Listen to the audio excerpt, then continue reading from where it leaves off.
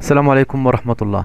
آه، سنشرح اليوم طريقة لتغيير آه، ال style العام لل Microsoft Office بشكل كامل سواء كان البرنامج ال Word أو ال Excel أو ال PowerPoint.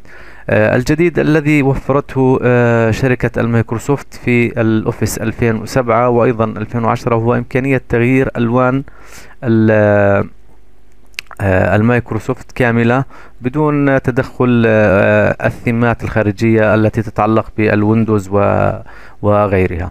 الطريقة مثلا آه، نذهب إلى خيار ملف ثم نختار من هنا أمر خيارات.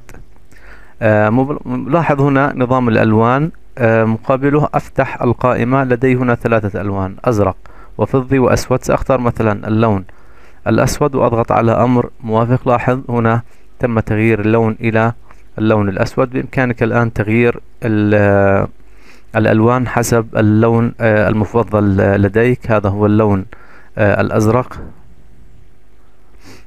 تحياتنا إليكم. دمتم في حفظ الرحمن.